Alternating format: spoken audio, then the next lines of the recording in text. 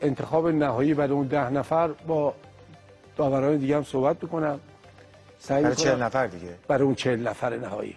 به رسم کسفت اول همه خوبا رو خودم برمیدارم. البته همشون خوبن.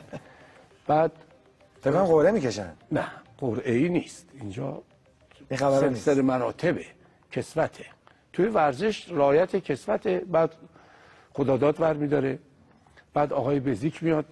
اونایی که مونده برمیداره این تش هم میده تش هم هرچی موند اون تمه ها میدیم به مشتبه سعی می‌کنیم که عدل و انصاف رایت بشه. رایت خیلی رایت شد تو این مدلی که شما آره، فرمودید سعی می‌کنیم که به همین سبک رایت بشه. انشالله که شاهد این انتخاب خواهید بود و در نهایت بچه ها به چه سبکی خدمات ارائه میدن بر مبنای همین انتخاب. احتمالاً دیگه بر اساس کسفت باید برنده معرفی بشه. اونم که طبیعی هستش دیگه چون بچه ها اون دو تا سه تا محبت دارن.